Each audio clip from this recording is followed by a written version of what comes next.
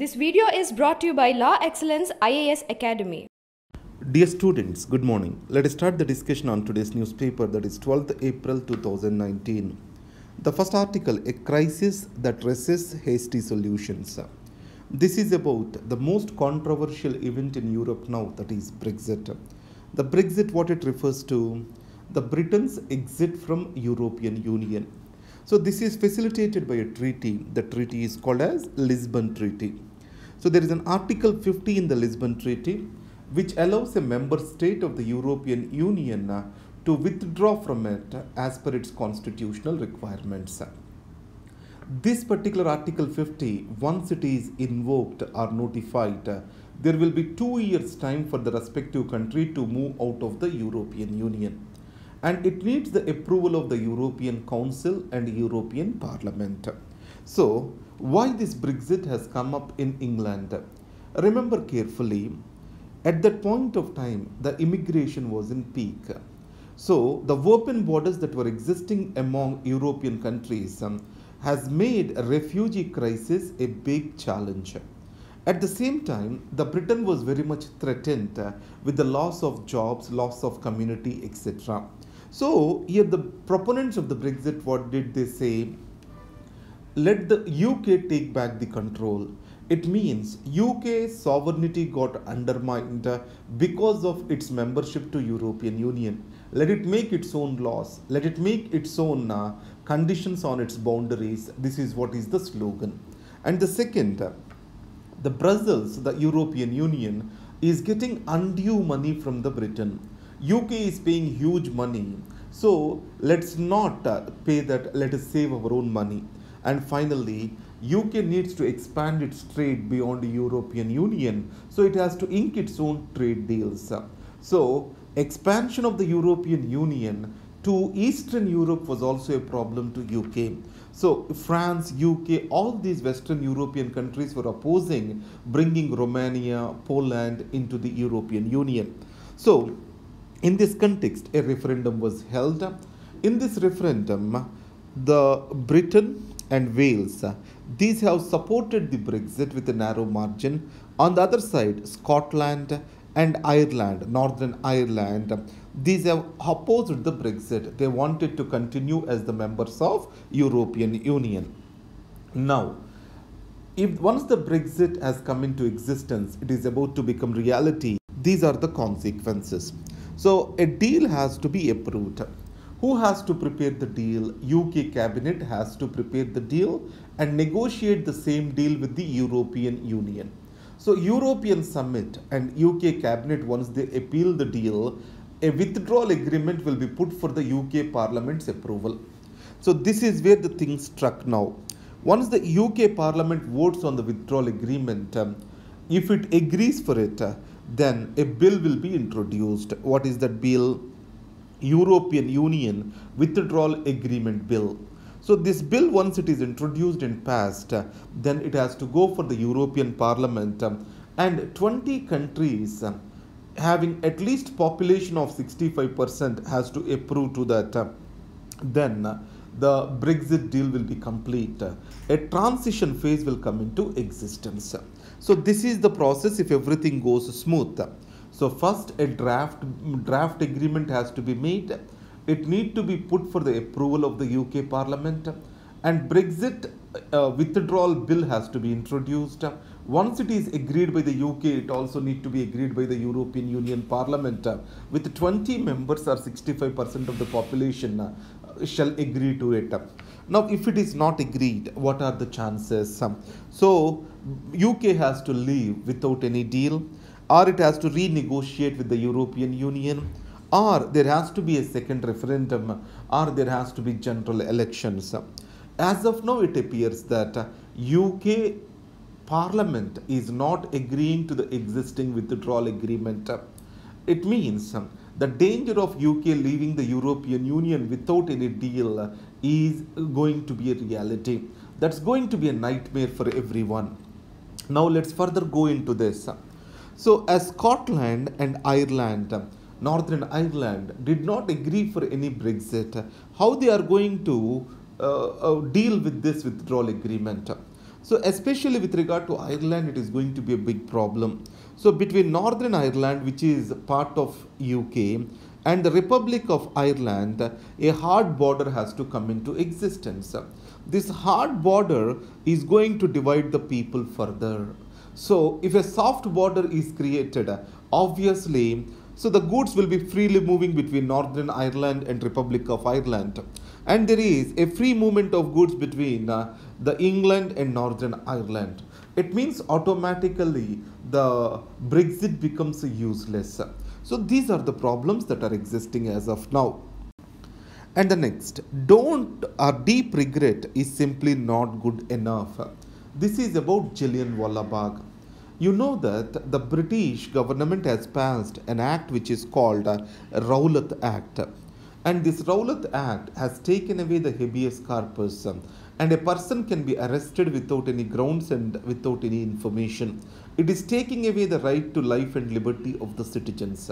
So, against this Rowlatt Act, a peaceful gathering on Baisakhi Day in Amritsar has led to a brutal violence by the police. So, under this Rowlatt Act, two important leaders, Satyapal and Saifuddin Kichlu, these were arrested by the police. A silent protest was happening against it, and police, under the direction of General Dyer, has fired against this. Uh, against this grouping and finally it led to the death of around 500 people so this has said to be the worst massacre by the british in india though there are others against kuka rebellion this did not come into open but this is in a city in a closed space against a peaceful uh, gathering this happened so in this context tagore gave away his knighthood and Mr. Udham Singh has killed General O'Dwyer. Remember, he did not kill Dyer, it is Dwyer. This Dwyer is the Lieutenant Governor of the Punjab at that point of time. And Hunter Commission was appointed, uh, and all these failed to find fault with Mr. Uh, General Dyer. In this case, there is Morning Post, a conservative newspaper. It even collected the donations in support of the General Dyer.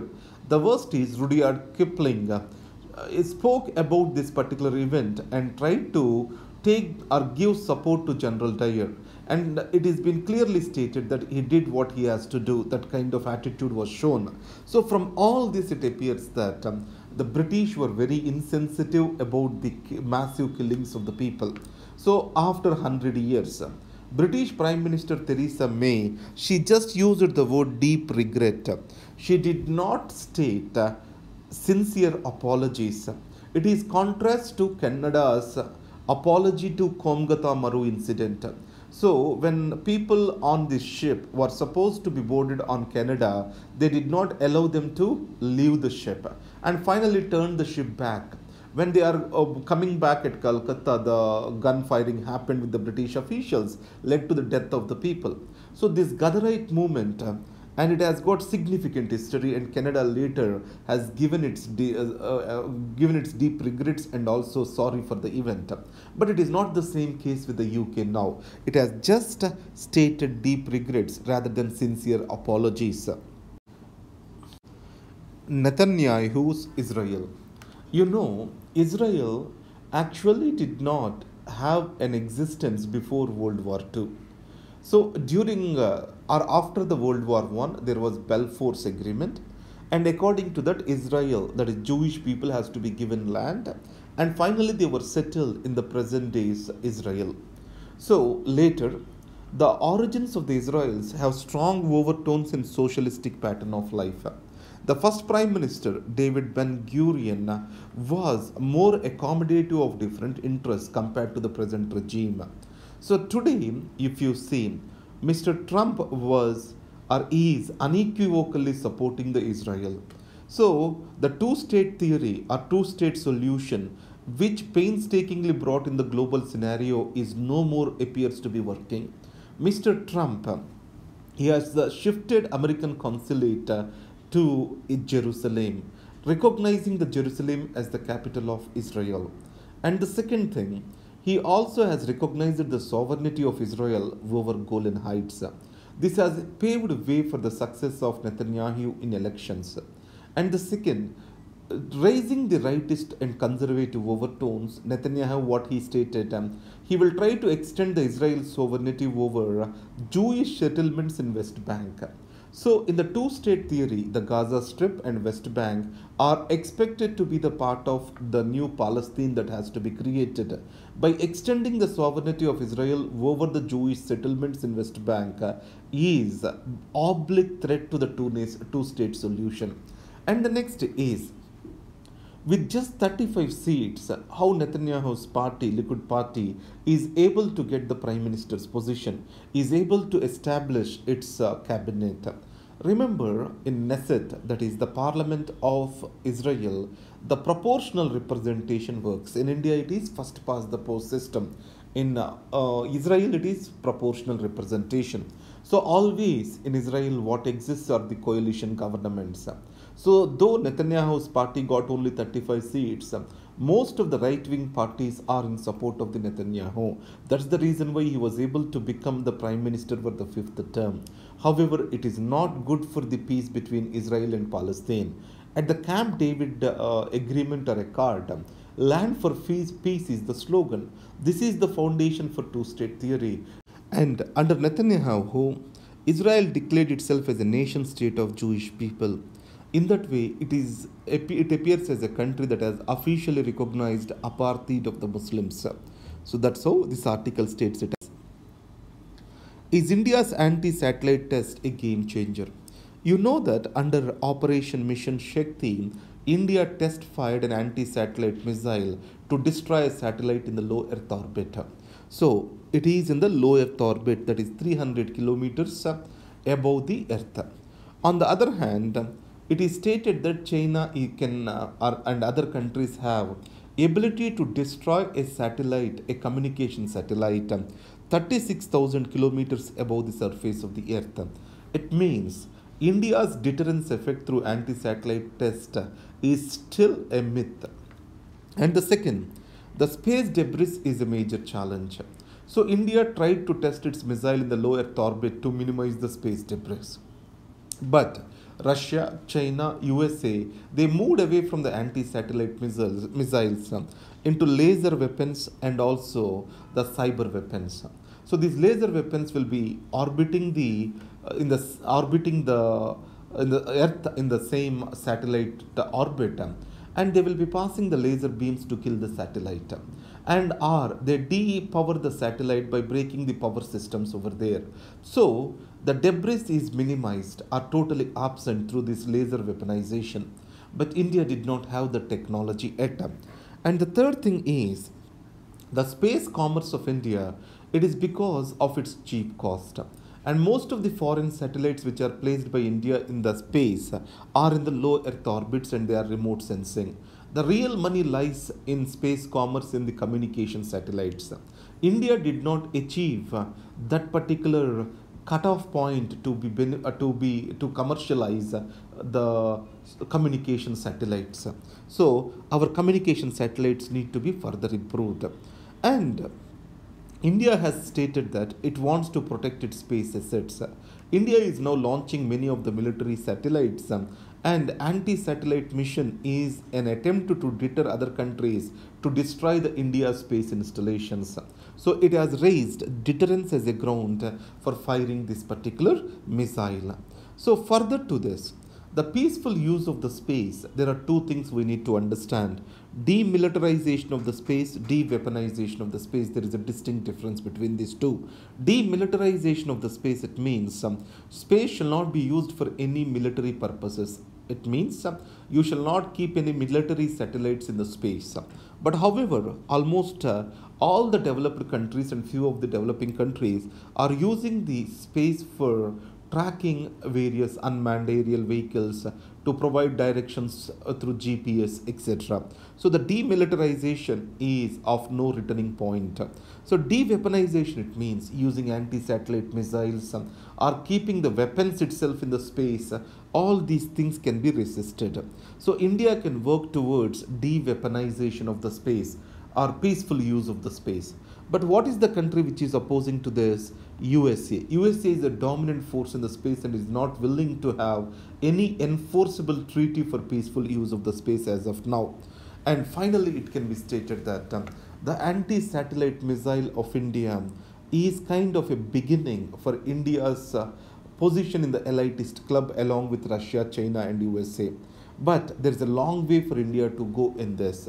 India, on the other side, can work for peaceful use of the space, and India has to join with China, etc. on this. With regard to the commercial front and also technological front, India is far behind China. China is expected to create its own space station by 2020. By the time International Space Station is expected to end its life. So there is a long space, long journey for India in the space program. F- fighting the fake news. So you know that today's major problem is alternative facts are post-truth world or fake news. So in this context, how shall we fight the fake news?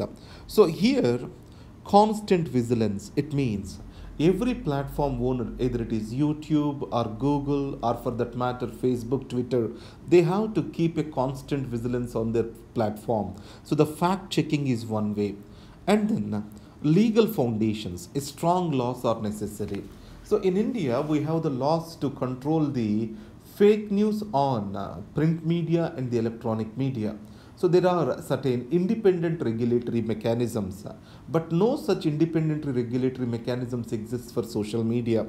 And the second is the legal vacuum is clearly visible.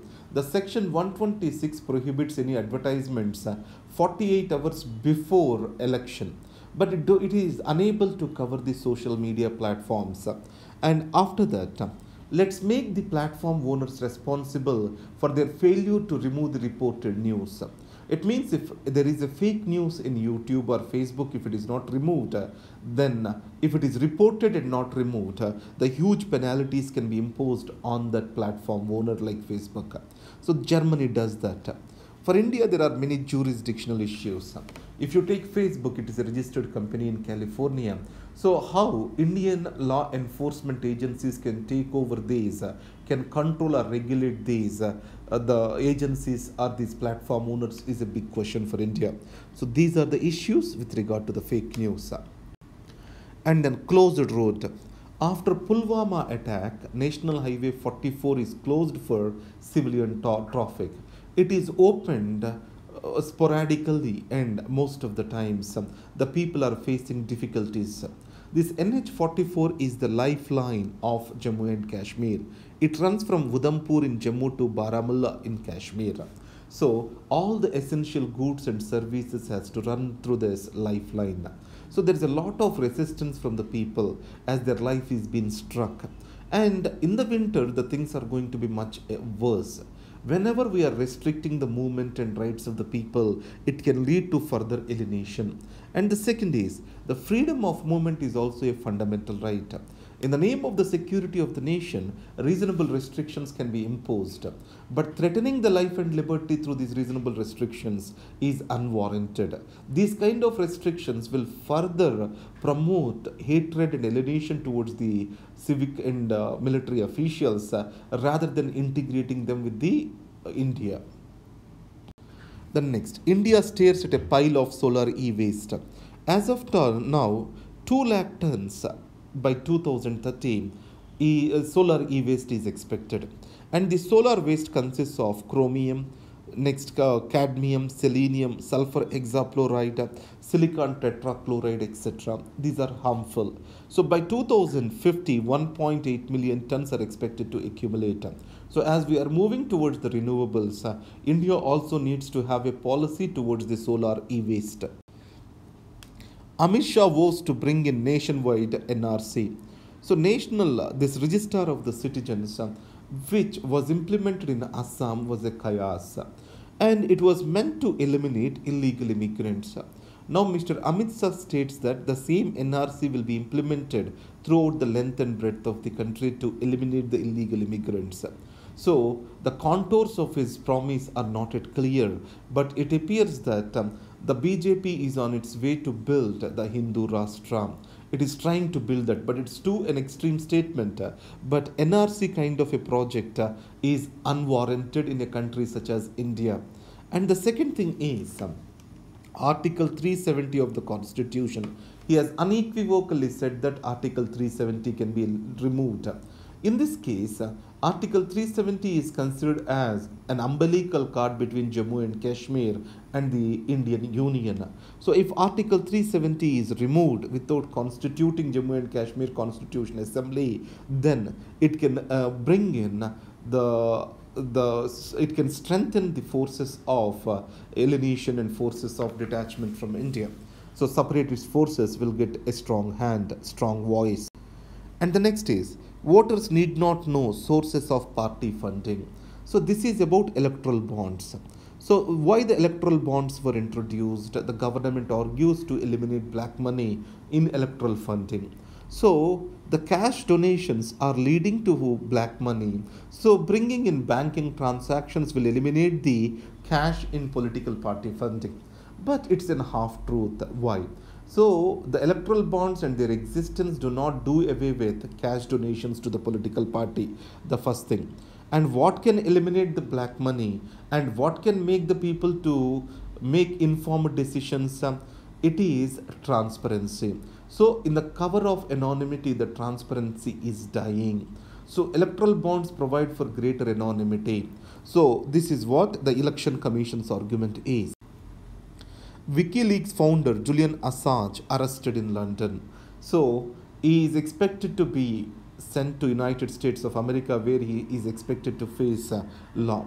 So Mr. Julian Assange, WikiLeaks, exposed the Mr. Miss Manning's, uh, Chelsea Manning's leakages in 2010. It's kind of entire United States and surveillance system uh, in the United States against its own citizens was exposed by these leaks.